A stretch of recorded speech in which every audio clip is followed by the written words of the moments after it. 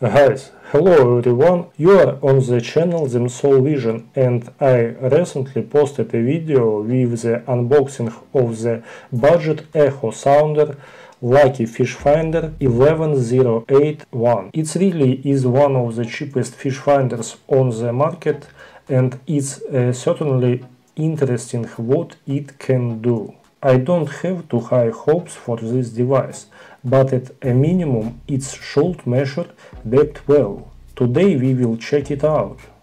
Today I take this echo sounder and my operator Sasha takes a depth gauge, standard depth gauge, and we pass. We make a series of holes and check them. First Sasha checks them with an ordinary depth gauge and makes notes in a notebook. Then I pass with this echo sounder.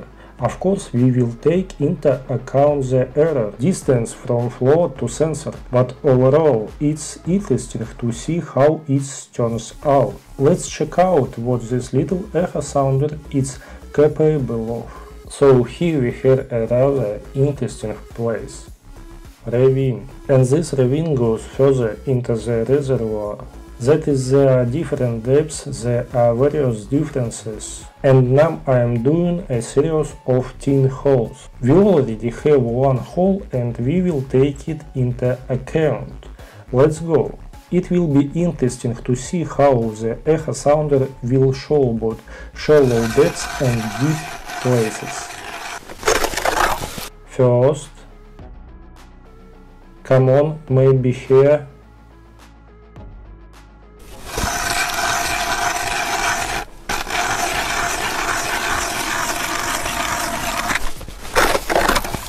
Second, we consider this as the third. Sasha, remember, you go first.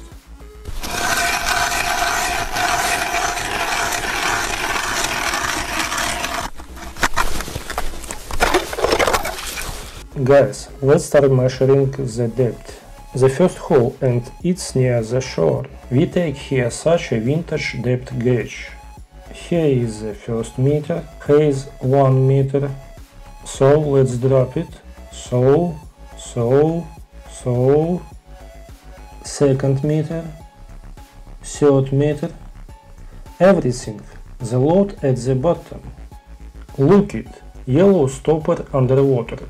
It's about 2 meters and uh, 2 meters and 20 centimeters.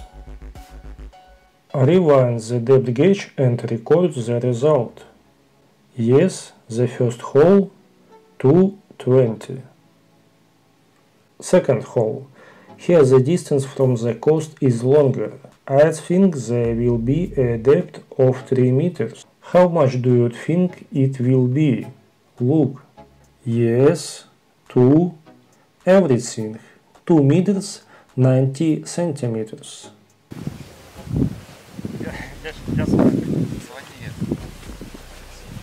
Guys, Sasha checked the holes, checked the depth, and now I simply press the button, realize it and the echo sounder turns on. Here I will have 20 centimeters.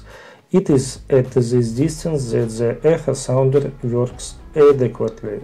I think that will immediately add 20 centimeters to the result so as not to make unnecessary calculations. So, so the first hole. 0 meters. I drop the sensor.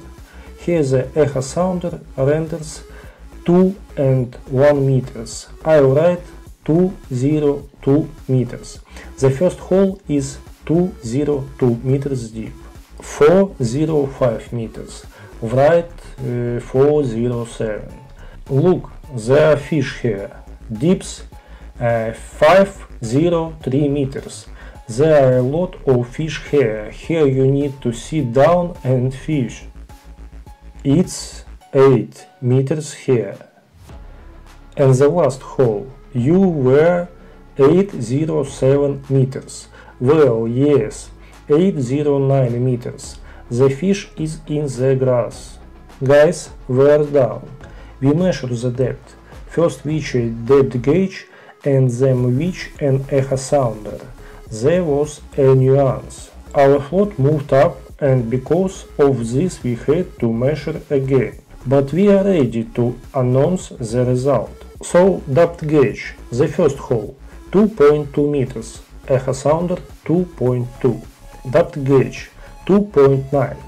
But here we did not measure the depth again in vain, 3.6 meters, 70 centimeters difference, third hole, depth gauge 4.80 meters, echo sounder 4.7 meter, fourth hole, depth gauge 5.5, echo sounder 0.46, fifth hole, depth gauge 6.0, echo sounder 6.2, sixth hole, depth gauge 6.5, echo sounder 6.7, seventh hole, depth gauge 7.0, echo sounder 7.2, eighth hole, depth gauge 7.3 echo sounder first, 7.3 then we recorded 7.5. Ninth hole, depth gauge 7.9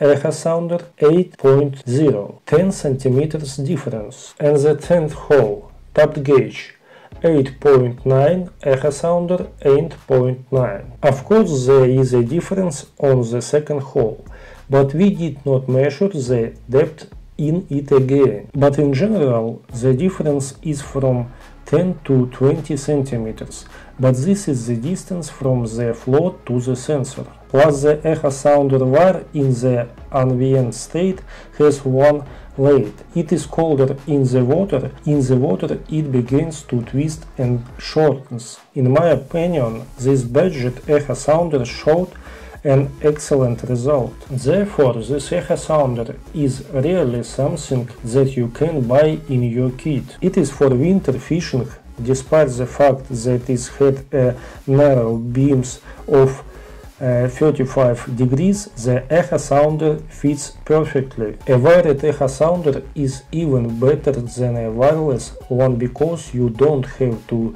think about how to hook the transducer. A wire in the winter is very very convenient. Guys, here are the result we got today. Thanks to Sasha for being an operator today for winding a cold said uh, I was just using the sensor. Well, in general, write in the comments what kind of echo sounder do you have and are you satisfied with it. Maybe you have the exact same model. Guys, if this video was useful and interesting for you, then like, subscribe to the channel. See you later.